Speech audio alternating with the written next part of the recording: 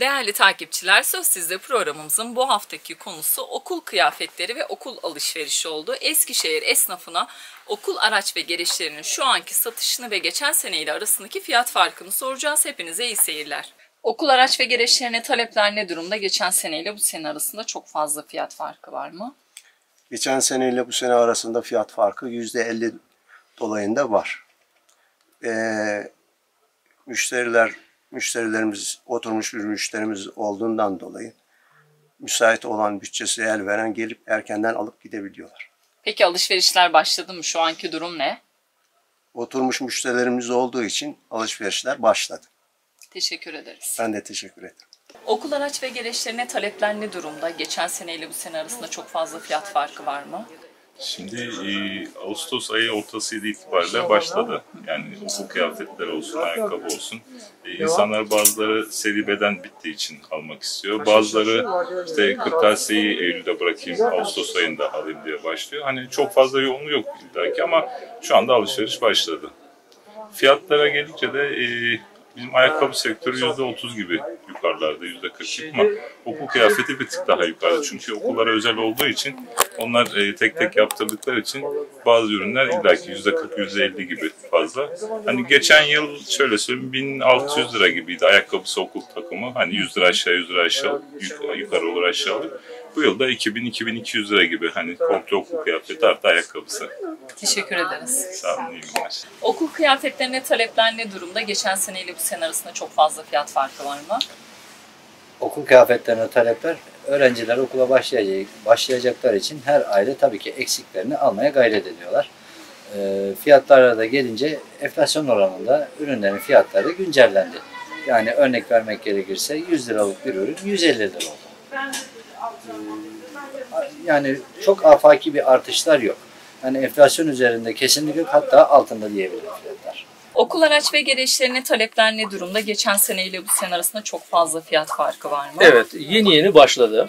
Ee, öyle görüyorum. Müşterilerimiz var. Okul soruyorlar. Ufak ufak alışverişe başladılar gibi. Fiyatlar da bilmiyorum başkanım bu sene nasıl ya ben çok şey biraz fark var tabii değil mi? Geçen seneden mutlaka fark var. Örneğin geçen sene sattığınız bir ürünü şu fiyattan Yani, bu seneye e, ne kadara satıyorsunuz? Benim mesela şimdi 300 350 gibi satılan pantolonlar herhalde 400 400'ün üzerinde gibi.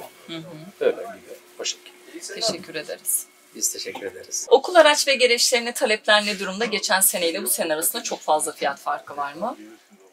Okul araç gelişlerinde geçen seneye göre okul giysileri için söyleyeyim %30-35 gibi bir fark var. Fiyat olarak Evet yani geçen sene rakam söyleyeyim mi? Söyleyebilirsiniz. Ee, geçen sene 250 civarıydı bu sene de 300-350. Yani rakam olarak öyle bir değişiklik var. Ee, geçen seneye göre talepler az ama. Geçen sene daha yoğundu. Ee, bu saatlerde daha başlamıştık yani. Ama bu sene biraz daha az. Geçen seneye göre daha sakin bu sene. Okul araç ve gereçlerine talepler ne durumda? Geçen seneyle bu sene arasında çok fazla fiyat farkı var mı? Çantalarda yüzde yirmi diyebiliriz. Kırtasiye biraz daha fazla ama çantalarda yüzde on, yüzde yirmi arası. Peki alışveriş başladı mı? Talepler ne durumda?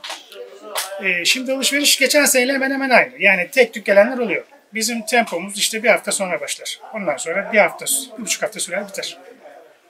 Teşekkür ederiz. Ben teşekkür ederim. Okul araç ve gereçlerine talepler ne durumda? Geçen seneyle bu sene arasında çok fazla fiyat farkı var mı? Yani fiyat farkımız var. Tabii enflasyondan dolayı, şeyden dolayı okul fiyatları biraz yüksek. Ama biz halk çarşısı olduğumuz için elimizden geldiğince bunu daha az yansıtmaya çalışıyoruz. Yani kar harcımlarını biraz daha düşük tutarak e, insanların ihtiyaçlarını daha kolay gidermelerini sağlıyoruz. İşte nakit alımlarda uygun fiyatlar söylüyoruz. Yani dışarı piyasaya göre halk çarşısı daha uygun. Yani talep var mı? Başladı. Daha da hızlanacağını düşünüyoruz. ileriye doğru. Yani başka ne diyeyim? Oluyor yani başladı hareket var. Eşofman takımları olsun şeyler olsun. Okul kıyafetleri olsun burada satan 5-6 tane arkadaşımız var mesela. Uygun fiyatlı piyasaya göre biraz daha düşük satıyorlar. Ve hareket var. Okul araç ve gereçlerine talepler ne durumda? Geçen seneyle bu sene arasında çok fazla fiyat farkı var mı? Evet, e, taleplerimiz tabii ki de var. Okul alışverişini buradan zaten çoğu müşterimiz yapıyor. Geçen seneyle bu sene arasında fiyat farkı oldukça var. Ama tabii ki devamlı müşterilerimiz olduğu sürece talebimiz buradan alışveriş yapan çok müşterimiz var. Teşekkür ederiz. Rica ederim.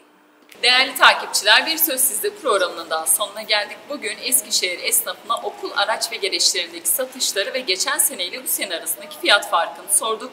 Bir sonraki programda görüşünceye dek şimdilik hoşçakalın.